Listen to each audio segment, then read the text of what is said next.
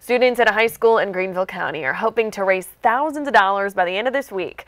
Fox Carolina's Joe Gagnon is at JL Mann to tell us about Spirit Week.